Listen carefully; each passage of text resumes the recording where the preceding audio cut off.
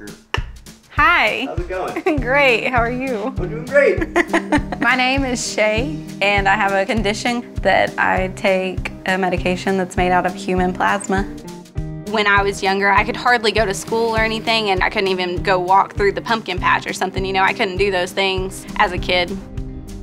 I'm excited to meet people who actually um, donate plasma that help me. Uh, I'm kind of nervous to meet them. Hi, Shae. Welcome to BioLife. What do you know about plasma? I do know that the medication I'm on is made of plasma, but that's about all I know. That's okay. Um, plasma, keeping it simple, is the liquid portion of the blood, and the machine here will separate the plasma from the red cells.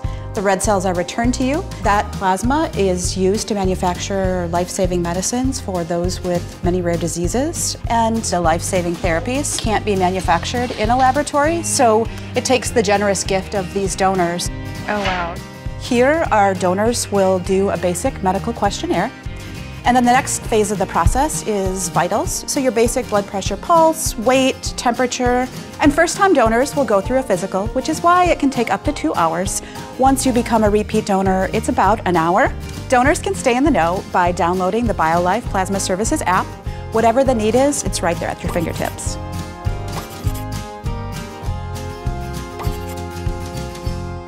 At BioLife, we do our best to make it safe, fast, and easy. Hi, Jordan. I'd like to Hi. introduce you to Shae. Hi.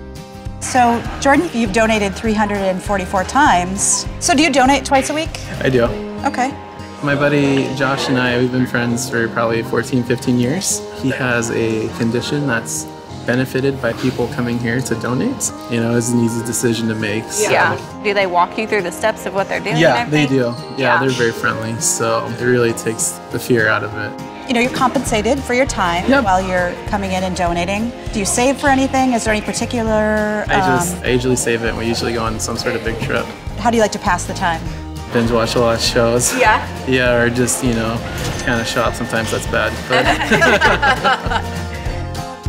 So what happens to the plasma next?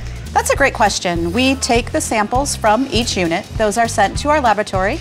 Once we import the satisfactory lab results, the plasma is shipped to our manufacturing plant where it's made into a variety of life-saving medicines. Without these people, I wouldn't be living the life that I'm living currently for sure. Seeing all the faces behind this, I think it really will make me appreciate it more every time that I go to sit down to do my medicine. You know, I'll really think about all the people that were here. It's really changed my life. Oh, that's so wonderful. I just really wanted to thank you for your donation because y'all do change lives, y'all really do. thank And you. I'm thankful for that.